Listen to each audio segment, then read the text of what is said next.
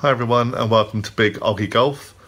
In today's pro tip, Nick Brewaeys from West Cornwall Golf Club shares some simple tips and advice on how to set up and gain more confidence with your chipping.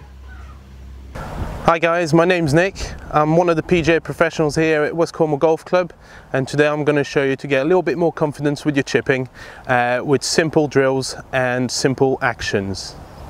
Well guys, we're on the 18th hole here at West Cornwall Golf Club and I've just missed the green a little bit short here and what I'm going to show you today is just to have a little bit more confidence with your chipping. So I see a lot of amateurs addressing the ball with a very bad posture or very basic posture and trying to use their hands a lot to try and lift the golf ball.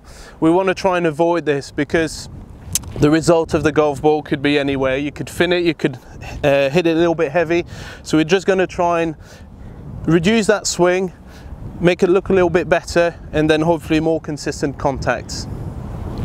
So step one, really, we want to try, regardless of the club you're going to choose, the basics are going to be roughly the same. So what I'd like you guys to try and do is place that golf ball in the middle of your stance quite a narrow stance to be able to move your weight a little bit more forward, in my case on my left leg.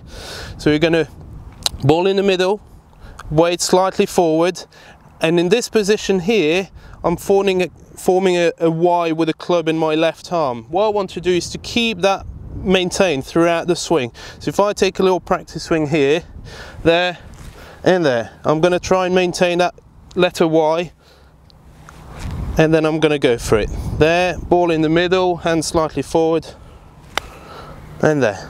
A little bit hard. Let's try another one. So club here, ball nice in the middle, hand slightly forward, weight slightly forward too. Keep that Y there and there. And the ball's just going to run towards the hole. So in simple steps,